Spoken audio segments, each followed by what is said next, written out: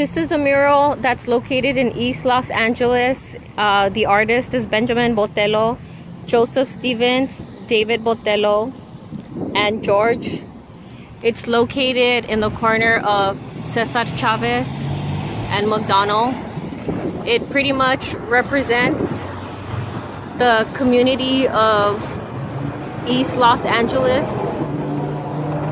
Um, I'm just gonna walk you guys through the whole mural and then come back and kind of point out different things that were pointed out in the mural. It pretty much demonstrates the evolution of how Mexicans came to California to make a better living. It starts off with the Mexican Aztec calendar and the Mayan pyramids um, how people used to harvest corn and uh, worked in the farms either picking corn or picking grapes. Ruben Salazar was a television reporter and they painted a lot of community leaders.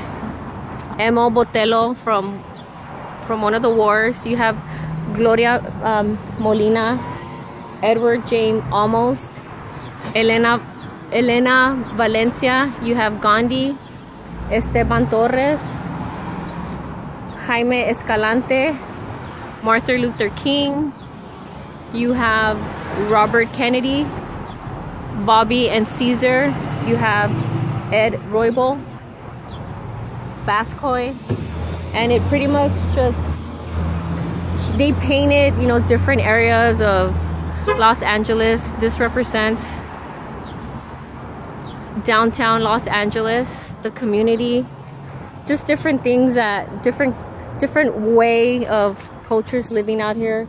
This kind of represents, you know, you have different people selling fruits in different corners. Military people, Mexican and American and then they wrote on the wall, only when we have become nonviolent towards all life will we have learned to live well ourselves. Cesar Chavez, that, that was one of his beliefs. And then you have Jesus with candles and picture frames and crosses.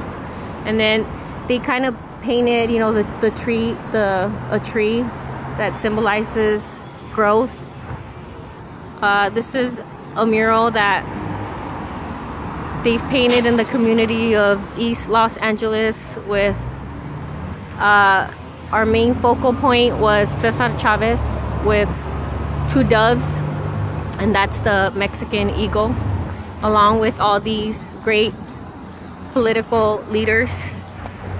And here we are in um, East Los Angeles